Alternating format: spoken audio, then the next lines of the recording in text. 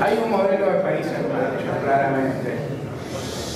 Hay un modelo de país en marcha, no importa el nombre, si es neoliberal, si es neoliberal más conservador, si es neoliberal periférico, porque estos neoliberales no son iguales a los neoliberales de los países centrales. Hay un modelo de país en marcha que ha definido claramente quiénes ganan y quiénes pierden, las industrias extractivas, ya sea extractivas de minerales, ya sea extractivas de granos, el sector financiero, las grandes multinacionales y para el resto lo que tiene que haber es achicamiento, lo que tiene que haber es desocupación, porque es necesario, Macri lo decía, y los que lo votaron y hoy protestan no lo quisieron escuchar, es necesario bajar el costo de la mano de obra del país. Las multinacionales, las empresas exportadoras necesitan seguir trabajando bajando el costo de la mano de obra. Y son agredidos los trabajadores y son agredidas las pymes. Fíjense, el gran librazo nacional, la industria del libro es una de las agredidas. La industria textil, la industria textil entre la baja del poder adquisitivo y la, y la inmensa suba de la importación, Hoy la industria textil es una de las más, las que están más siendo agredidos por este modelo. Hay un artículo de un periodista de página 12, no recuerdo en este momento el nombre, que hablaba de Villa Progreso, que es un lugar del partido de San Martín, en donde era floreciente, había industrias, pero al lado de las industrias había bares que le vendían a los obreros que iban a esas industrias, había negocios, hoy está todo cerrado. Junto con esto, INVAP. INVAP ha dejado de producir satélites y radares porque el gobierno no tiene más interés en producir satélites y radares en la Argentina. Muchos de los que trabajábamos en, como satélites de INVAP, hoy empezamos a ver que no, no hay más. No hay más, no hay más satélites, no hay más radares, etc. Lo está haciendo Pinedo. ¿Perdón? No, Pinedo no hace nada en el país. Pinedo es lo que tiene, tiene una empresa que está en el exterior y le vende horas a la Argentina en un satélite eh, extranjero. Eh, no hay más fábrica de aviones, no hay más nada. Los docentes, los docentes, ¿para qué vamos a hablar de la agresión a los docentes si es algo que todos nos estamos refiriendo en todo momento? Los docentes están siendo salvajemente agredidos, pero, agredidos, perdón, pero hay una diferencia, y es que muchos sectores populares, sectores de clase media, empiezan a ver que la lucha docente es su propia lucha por la supervivencia. Porque la agresión a los docentes es la agresión a todos los demás sectores y permítanme que me centre en el sector ciencia y técnica. El sector ciencia y técnica, yo me acuerdo alguna vez que me tocó organizar en Buenos Aires un congreso internacional y lo inauguramos con el ministro que en esa época se llamaba Lino y que venía, ahora se llama Barañado. Eh, y ese ministro venía a inaugurar el Congreso, lo invitamos y dio un discurso de inauguración. Y ese administrador de las políticas de Cristina Fernández de Kirchner dio un discurso extraordinario, dio el discurso de las políticas de Cristina y los científicos de Europa, de Estados Unidos, de Brasil, obviamente de Argentina, etc., salieron y salimos admirados de ese discurso diciendo este sí que es un país que empuja para adelante. Cuando en el Centro de Ciencia y Tecnología de Giol inauguramos Tupac, y debo decir que después de algún tironeo, porque si bien el Lino algo de barañado tenía dentro. Cuando después de algún tironeo le pusimos a la computadora Tupac, cuando fue la teleconferencia con Cristina, estaba orgulloso de que le pusimos Tupac, porque hoy la lucha por la independencia tecnológica es similar a la lucha que dio en su momento Tupac Amaru para liberar a los pueblos de Latinoamérica. Y ese nuevo ministro Barañao hoy dirige un ataque contra el CONICET. ¿Y qué hace? En la medida que cerraron el ingreso a CONICET en la medida que cerraron el ingreso a CONICET. A los chicos que hicieron su doctorado bancados por el CONICET. Es decir, el CONICET invirtió en esos chicos, que son, les digo chicos en realidad por mi edad, pero no es que sean niños, ¿no? Esos nuevos doctores que hoy no pueden entrar a CONICET, le dicen, no, bueno, entren a la industria, ¿qué industria? Están cerrando las industrias, las que están pujantes son las multinacionales que no hacen su investigación en el país, sino en sus países de origen. Las que están pujantes es el, los que están pujantes es el sector financiero, que no hace investigación.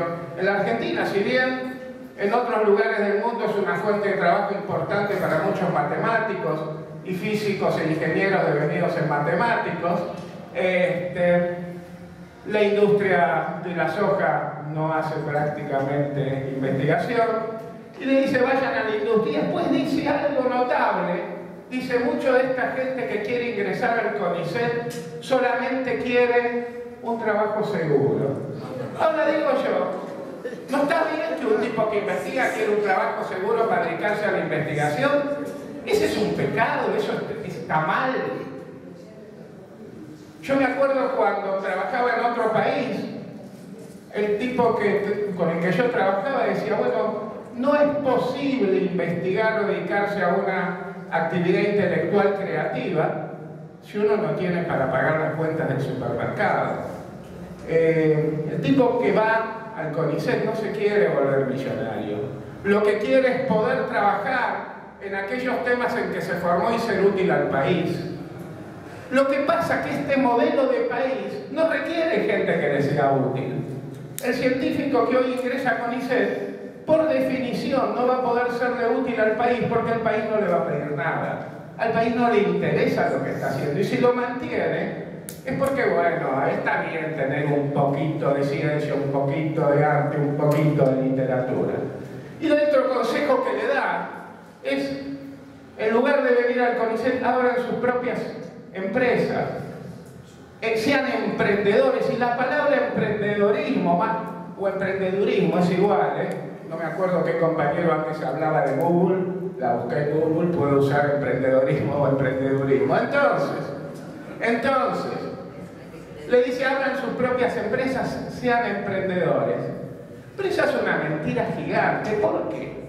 Porque si miramos al hemisferio norte, Europa, Estados Unidos, Japón, las empresas emprendedoras son emprendedoras porque hay un requerimiento del Estado.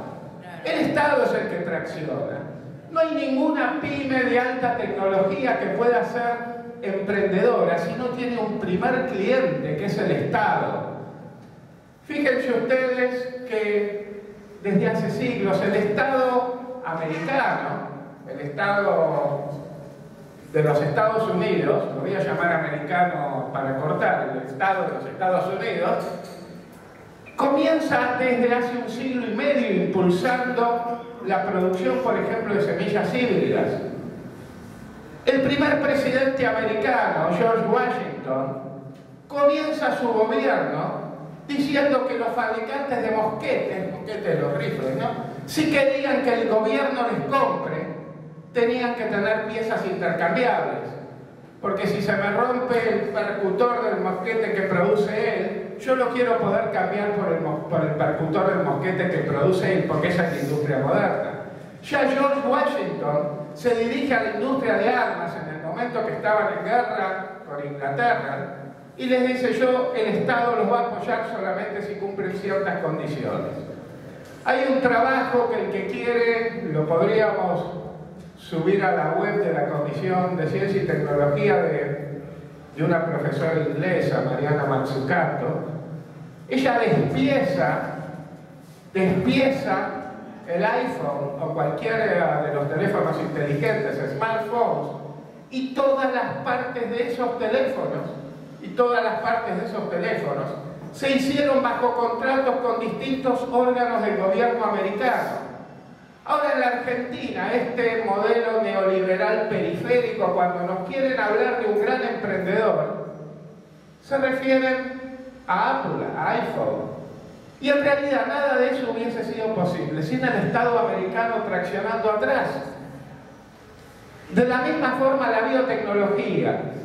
Hay barrios enteros, hay barrios enteros en la ciudad de Boston que eran barrios abandonados, fantasmas, en Cambridge, imagínense, enfrente de Boston, porque ahí había, estaba antes la industria del calzado, que en Estados Unidos cerró, porque se importan los calzados, que hoy todos esos galpones abandonados se convirtieron en edificios extraordinarios, porque está ahí la base de la industria de biotecnología, que produce nuevos medicamentos, que produce nuevos eh, químicos para distintas aplicaciones.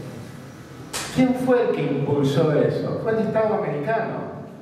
Bajo la presidencia de Nixon se estableció, se estableció que una de las prioridades del Estado americano era la biotecnología, es decir, no hay emprendedorismo sin Estado. Ese asunto de decirle a la gente del CONICET, ¿por qué no se hacen su propia empresa? Su propia empresa para que, salvo que estamos hablando de un maxi con todo respeto por los maxi pero salvo que estemos hablando de un maxi en la Argentina de hoy no hay lugar para eso. Porque en la Argentina de hoy, la industria del libro, las pymes, las metalmecánicas, hay 5 o 6 mil, no me mantengo al tanto de los números que van lamentablemente cambiando día a día, pymes cerradas. Y hay desocupación. Entonces, el otro tema, para callar todo esto, el ministro pone en ralentí, como nunca pasó antes en el país, la entrada al directorio de comisión de Roberto Salvareza. Roberto Salvareza fue presidente del CONICET y renunció el 9 de diciembre del 2010. Se hizo la elección entre los científicos del área de Salvareza, que es un área de química. Él ganó la elección para ser representante de esos científicos en el directorio de CONICET y se le está con trámites y trámites, ya lleva casi un año en que se le está negando la entrada al directorio del CONICET, otra medida profundamente antidemocrática. Todo esto, todo esto, en tanto al CONICET le dice, le dice a la gente, en lugar de discutir estos temas, discutamos cuál tiene que ser la función de CONICET ¿Cuál tiene que ser la función de CONICET en un país que se desarrolla? Bueno, no podemos discutir ficciones. En este momento el país, lejos de desarrollarse, está caminando para atrás. Ese tipo de discusiones hay que dejarlas para cuando volvamos, cuando el país vuelva a ser el país que la ciencia y la tecnología tienen una función. Eh, por último, los científicos Vamos a estar en la calle junto a los docentes el 22. Nos concentramos junto con científicos y universitarios autoconvocados, junto con los de Ciencia y Tecnología Argentina, el grupo al que pertenezco y otros grupos, nos, concentramos el miércoles 22 a las 12 horas sobre la avenida Rivadavia, la puerta de CONICET. Y vamos a estar también en las marchas del 24 el viejo CONICET, sí, perdón, gracias por la nota. El, CONICET que está en Rivadavia, el viejo CONICET. No el que hizo Cristina, el viejo CONICET, Rivadavia y Río Barba. Rivadavia y Río Barba. Este, entonces, nos juntamos ahí para marchar junto con los docentes, porque hoy hay dos grandes, dos grandes temas. El primero es el que Cristina insiste ante cualquiera que la vaya a ver o ante cualquiera que hable con ella, unidad. Tenemos que ser capaces de formar el frente que empuje para que este gobierno pierda las elecciones de octubre y pierda las elecciones del 19. No hay ninguna posibilidad si no se forma un frente que junte a todos aquellos que hoy están siendo agredidos por la política macrista en un frente que derrote al macrismo. Y el segundo, hay que estar en la calle. Hoy la calle es el lugar en donde tenemos que enfrentar al macrismo. Gracias, compañeros.